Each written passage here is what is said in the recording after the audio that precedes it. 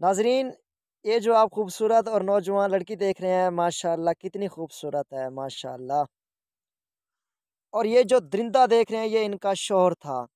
इन्होंने अपनी बीवी को कत्ल कर दिया।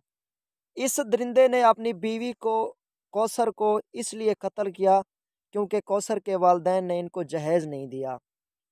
जहेज़ ना देने की वजह से इस दरिंदे ने कत्ल कर दिया अपनी बीवी को। अल्लाह ताला कौसर को जन्नतफिरदौस में आला मकाम अता फ़रमाए और इनको घर वालों को सब्र जमील अता फ़रमाए। आमीन।